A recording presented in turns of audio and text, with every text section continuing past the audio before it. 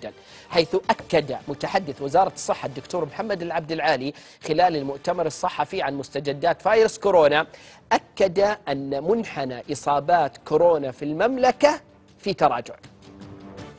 الحمد لله هذا ما نلاحظه كذلك في المنحنى في المملكة العربية. السعودية بعودة الحالات وعودة النسب الإيجابية التي نرصدها في الفحوصات إلى مستويات أكثر اطمئنانا واتجاهات أكثر اطمئنانا ولله الحمد. وطبعا نتابع في ذات الوقت مستويات آه، بقية الحالات سواء كانت المنومة أو التي في العناية الحرجة ونراقبها باستمرار. تلاحظون كذلك فيها شيء من الارتفاع ولكن نعلم دائما بأن الحالات الحرجة تتبع حالات الإصابات بأسبوعين إلى أربعة أسابيع في مستوى منحنياتها. فنستبشر كذلك خيرا في أننا في مقبل الأيام.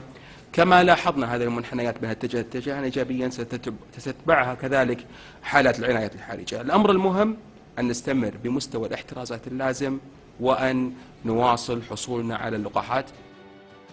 حديث متفائل وجميل ويدعونا إنه يعني نرفع مستوى التفاؤل للخلاص من هذه الجائحة إن شاء الله.